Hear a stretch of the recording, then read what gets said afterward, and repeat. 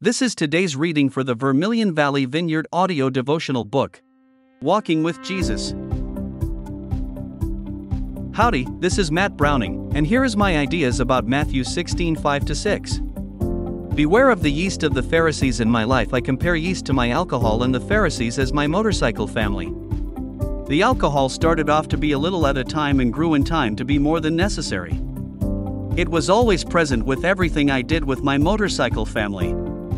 It seemed to be the glue that held the family together. When I was drinking with the family, I felt a sense of belonging and self righteousness in my life. The code and conduct of the family became my way of life. I believed at the time there was nothing wrong with this way of life and felt I was happy with it. Over the years of watching family members lose everything jobs, relationships, and their lives due to the drinking. I couldn't continue to watch this, I started distancing myself from the family. At this point, the drinking and the lifestyle started to lose its shine. Then my wife was diagnosed with cancer. This was very hard on us.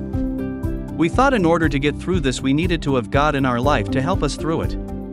That's when we started going to church. We felt the Lord's presence every time we went, and the sermons seemed to really speak to us. We tried to go every Sunday for two years before she passed.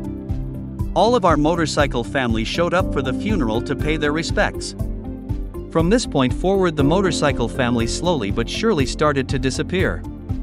After spending two years of finding myself, I finally came back to church. This is where the Word of God became my glue, and now the church is my family.